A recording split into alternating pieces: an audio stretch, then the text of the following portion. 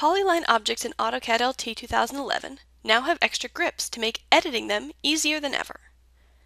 In addition to the familiar primary grips located at the end of each polyline segment, there are now secondary grips located at the midpoint of each segment. These grips, like the hatch grips, are multifunctional. The available functions can be seen by hovering over a grip, and you can choose an option directly from the menu that appears. For example, I can quickly add a vertex between two existing vertices, and then convert one of the new line segments to an arc.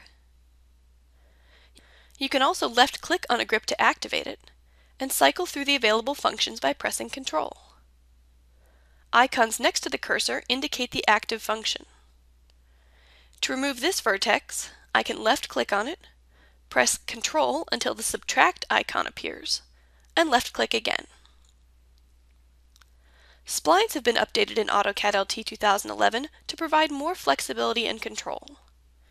When you start the spline command, you can choose between fit points or control vertices.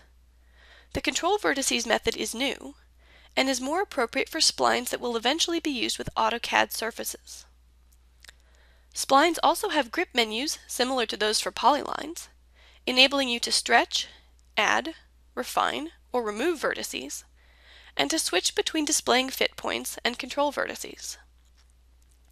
The Edit Spline command also has new options, including Add Kink, which enables you to add sharp corners to your spline.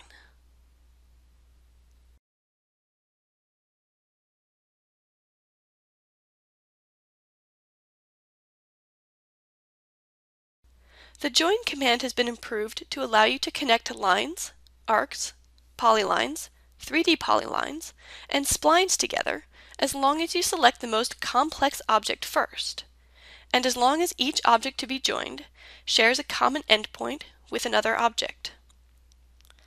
For example, I can start the join command and select a spline, two lines, an arc, and a polyline. When I press enter to end the command, the result is a single spline.